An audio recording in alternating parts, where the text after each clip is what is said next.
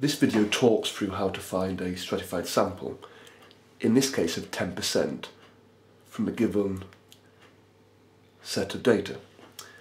And we're told this is of 200 people, and it's the time that they took to get to work.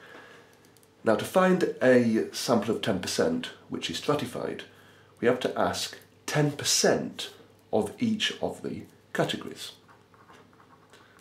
So, if I find 10% of 7, I get 0.7.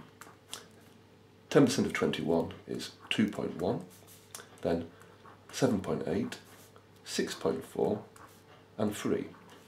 Now we can't ask 0.7 of a person, so we must round all these values accordingly.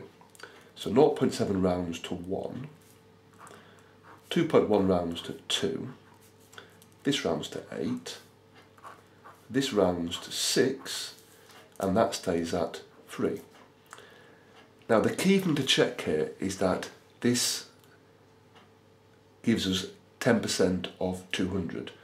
Now 1 plus 2 is 3, 3 plus 8 is 11, 11 plus 6 is 17, plus 3 is 20. So that gives us a required sample of 10% of 200. So therefore I'll ask one person from this group, two from that group, eight from this group, six from that group, and three from that group.